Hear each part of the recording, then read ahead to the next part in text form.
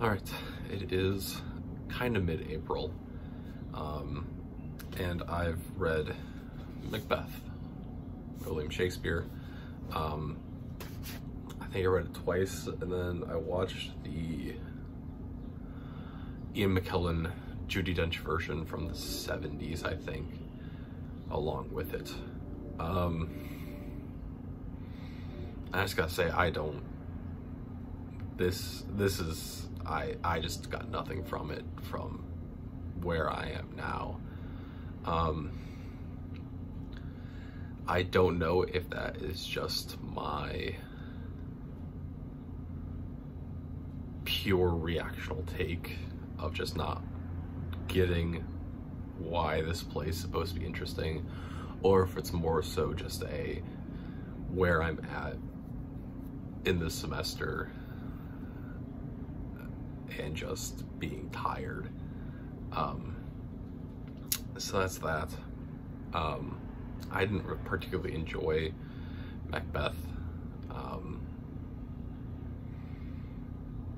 in, in terms of all the Shakespeare plays we've read so far, or yeah, I would probably put this at the bottom. Um, but I think that that that more so has to do with the fact that of where where where I am in the semester right now, uh, with only two weeks left before finals and just being, ugh. Um, I guess the big thing from from Macbeth, right? It's it's mostly taught through this lens of greed and envy and what that does to a person, which I get to an extent. But like there's just so much of it that I I don't I don't agree with calling it greed. Like um we you have the whole situation in which you have Macbeth getting told the prophecy that he will become the Thane of whatever, and then he will become king. That's the prophecy that was told to him by the witches. Also in that prophecy, um, Banquo gets told that he will not be king, but his sons will be kings. Important to note. And so you get to this point in which um, you know, like the scene or two scenes immediately after after this prophecy is told. Um, Macbeth and Banquo are present for Duncan telling who's going to be his heir, and he names Malcolm right? And so you're you're in this weird spot in which now you're having to deal with this as Macbeth. Well, he didn't name you Macbeth, the heir. But the first part of the prophecy has already come true, and therefore there has to be a way for the second part to come true. And so there's greed there in the sense that the the desire to fulfill the prophecy immediately instead of waiting things out, right? Because there is no there there's almost no conceivable world in which your kingdom would go from Duncan to Malcolm and then back up to Macbeth. And so, in order for the prophecy to be fulfilled, Macbeth has to interrupt it in some way. Um, but even with that, right, the heir has already been named. So I've never, I, I, I've never quite understood why Malcolm decides to leave and why Macbeth gets put into into kingdom and into being the king. I've never un quite understood that other than this this make-believe possibility uh, of of Malcolm saying, well, Macbeth is just gonna kill everyone until he's king. So I guess, I guess that's the reasoning, but like, there's something there that does not make sense to me, which is really kind of the whole, like, the whole crutch of Macbeth is that Macbeth becomes king, and like, Malcolm's already been named as the heir, so uh, like, it doesn't, there's something there that's not computing for me. Um, and then even even when you look at Macbeth, right? Macbeth does the deed of, of murdering Duncan and then immediately regrets it. Now, is that greed?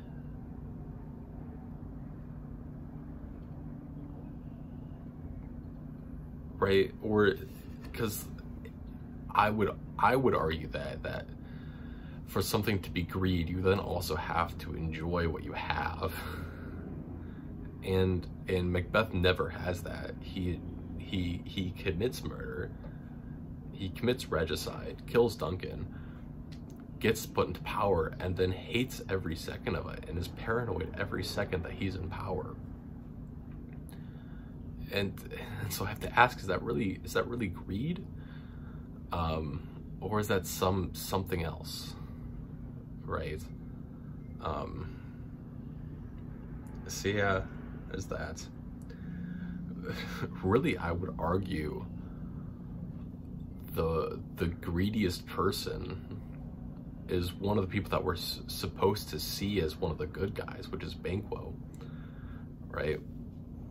And it's because Banquo is prophesized that that his children will become kings, right? and that he also hears the the point that Macbeth will a king.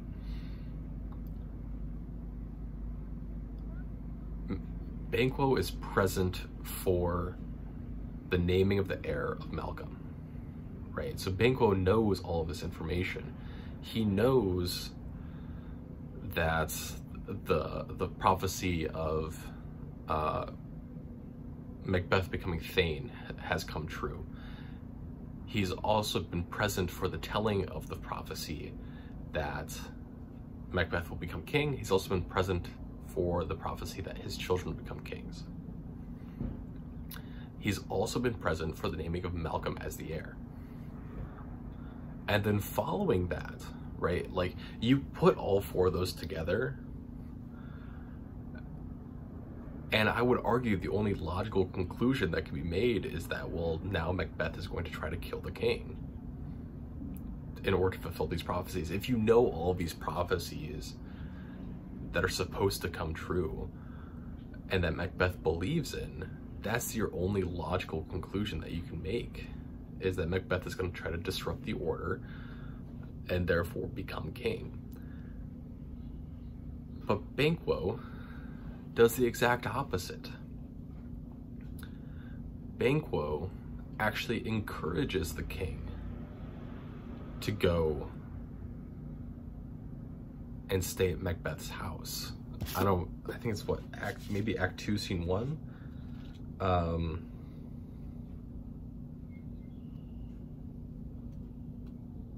no, it's,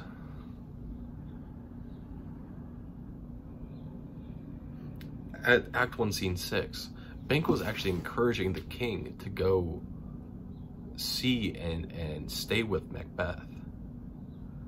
And gives gives no mention to the king of this prophecy.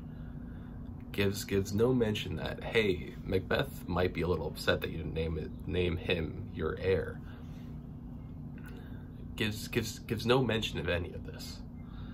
Right? And I would argue it's because Banquo is being the greediest person here. It's because Banquo realizes and knows that in order for his children to become kings, Macbeth has to become king first. And so he's going to let this play out without saying anything, right? Banquo is the real reason all this fucking happened. Um, yeah, like, like, but Banquo is somehow also the good guy in all of this. Um, yeah, yeah, I, you know, it's just one of those things where like I, and then, you know, the, just the the way that I think I've conceptualized Macbeth, it just does not match up with the general conceptualization of it and therefore I feel like I'm at a loss and I, I don't understand why. Um, but yeah. Although the one good thing about Macbeth I will say is that has the perhaps the greatest line, um, which is I think where the Eowyn line in The Return of the King comes from um, which is the the whole prophecy that Macbeth is told later on, which is uh, you will not what something along the lines of you will not be slain by man, man or woman born of a woman, something of that. Um, and then Macduff comes along. Macduff comes along and says, um, something something something. Macduff was untimely ripped from his mother's womb uh, so cesarean baby, right? Um, and it's perhaps one of these these this, this greatest moment of triumph in a, in a story, like one line, uh, kind of gotcha moments. Um, and I, I I believe it's it's where Eowyn it's where the line for Eowyn in Return of the King comes from, where uh, the Black Rider is says, uh, "No, no man shall kill me," and then she takes off her helmet, and Eowyn says, uh, something along the lines of, "For I am no man," yada yada yada yada, right? Um, so that's a cool line. That's a fun. That's a fun thing. Um, but yeah, like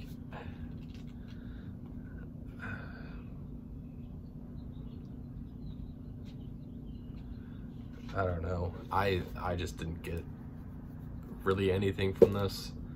Um, I guess more like illocution and perlocution, which is the difference difference between the direct meaning of what we say and saying what we mean versus how we say things when certain people are around. I think there's like some paper from the 70s or 80s maybe that really did a deep dive on how Macbeth speaks when he's in public versus when he's in private and how that there's a difference there um, especially in the meter I think um, but yeah I you know I just didn't really get anything from Macbeth I'll be honest um, but yeah, yeah, that's that's my thoughts on Macbeth.